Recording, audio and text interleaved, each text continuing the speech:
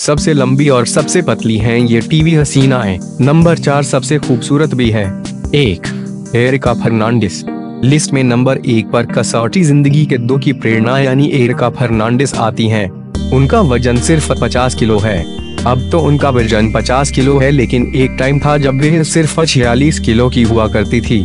वह पहले और भी पतली और लंबी नज़र आती थी। एरिका की लंबाई पाँच फुट पाँच इंच है। दो, सनाया ईरानी। मिले जब हम तुम और इस प्यार को क्या नाम दूँ जैसे धारावाहिकों में किए गए अभिनय की बदौलत सनाया घर घर में पहचानी जाती हैं। सनाया ईरानी भी टीवी जगत की एक बहुत पतली अभिनेत्री हैं।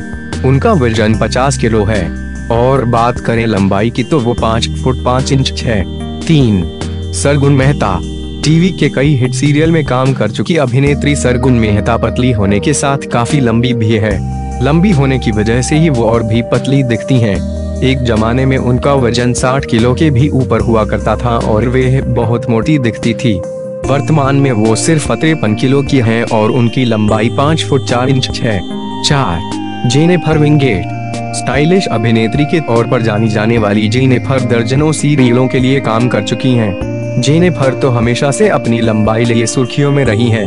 वह सबसे लंबी और पतली दिखने वाली एक ट्रेस हैं। उनकी लंबाई पाँच फुट पाँच इंच चौर वज़न पचपन किलो है। सबसे पतली और सबसे लंबी होने के साथ साथ जेनिफर टीवी की सबसे खूबसूरत अभिनेत्री भी है। पाँच। मौनी रॉय। बात हो सबसे पतली और सबसे लंबी अभिनेत्रियों की और मौनी का नाम ना आए ऐसा हो ही नहीं सकता। इन दिनों फिल्मी दुनिया में सुर्खियों में रहने वाली मौनी टीवी की दुनिया में बड़ा योगदान दे चुकी हैं। टीवी की नागिन बोली जाने वाली मौनी देखने में बहुत खूबसूरत और प्यारी हैं। वह काफ़ी लंबी और पतली भी हैं। उनका वर्तमान वज़न 50 किलो है और उनकी लंबाई 5 फुट 5 इंच है